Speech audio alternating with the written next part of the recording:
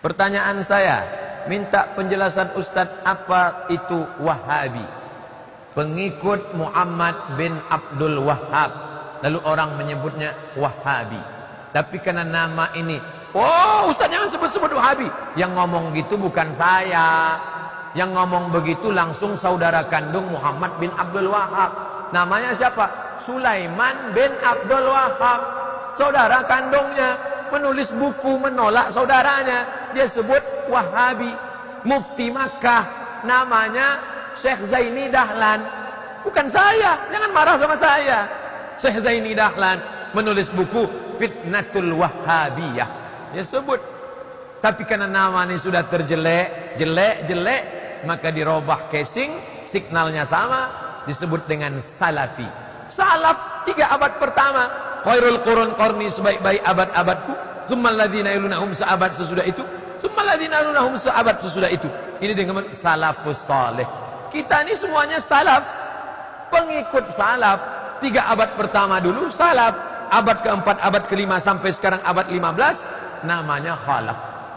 Nah, jadi kalau mengaku-ngaku salaf bertindaklah dengan akhlak salaf. Menghormati orang salaf. Kalau ada yang tak cocok ya dialog. Jangan hujat menghujat, menghormati orang. Nata'awan fi mattafaqna. Mari kita bekerja sama pada yang kita sepakati. Wa nata'awan nata'adzar fi makhtalafna. Kalau kita berbeda pendapat, ya kita berlapang dada. Jangan gara-gara berbeda kunut lalu membid'ahkan orang. Kunut tiap pagi ya, ya, bid'ah. Imam Syafi'i berkunut sampai mati. Baca kitab Al-Um. Imam Syafi'i berkata, Siapa yang lupa baca kunut subuh, dia sujud sahwi. Dalam al-um. Tapi Imam Hambali yang tak berkunut, tidak menyalahkan Imam Syafi'i. Datang orang bertanya ke Imam Hambali Hai Hambali Ya Kamu kalau solat subuh pakai kunut apa tidak? Tidak Hambali tak pakai kunut Bagaimana kalau saya ikut kamu? Mantap Bagaimana kalau imam saya syafi'i? Apa kata Imam Hambali?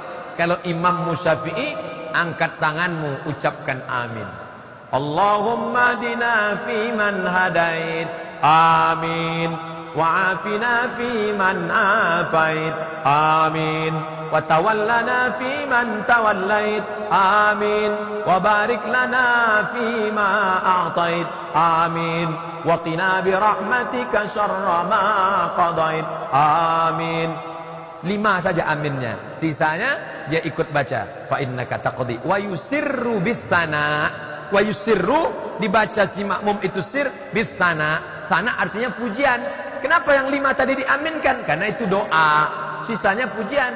Fa innaka taqdi wa la yuqda alaik wa innahu la yadhillu man walait wa la ya'izzu man adait tabarakta rabbana wa ta'ala falakal hamdu ala ma qadait nastaghfiruka wa natubu ilaik wa sallallahu ala sayyidina muhammadin nabiyil ummi wa ala alihi wa sahbihi wa baraka wa sallam. Allahu akbar. Jangan hanya gara-gara perbedaan lalu membid'ahkan orang, mengkafirkan orang. Nauzubillah.